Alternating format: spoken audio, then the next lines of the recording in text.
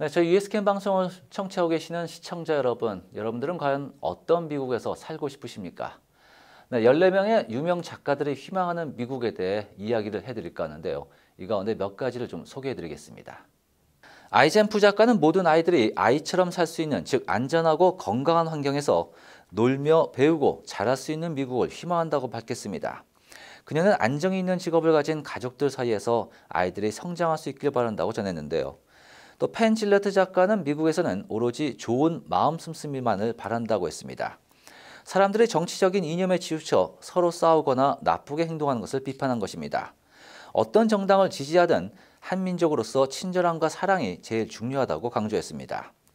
LG 그레더슨 작가는 미국이 어려움을 딛고 일어나 더 나아질 마음가짐이 있어야 된다고 강조했는데요. 그래야 바로 올바른 선택을 할 수 있을 것이라고 말했습니다. 사유보지환이 작가는 미국이 더 정당하고 공평한 민주주의를 이루길 희망했습니다. 정체성을 보호하기 위해서라도 미국의 미래를 위해 투표를 해야 한다고 강조했습니다. 아뉴세이 호세이는 딸들을 위해 다양성을 지지하고 이민자의 경험을 중요시하는 미국을 꿈꾼다고 합니다. 트럼프 대통령이 지향하는 미국에서 흔한 위험한 남성성을 없애고 여성에게 보다 안전하고 공평한 사회를 만들어 나가야 된다고 강조했습니다. 이 밖의 작가들도 각각 미국의 미래에 대한 희망을 풀어냈습니다.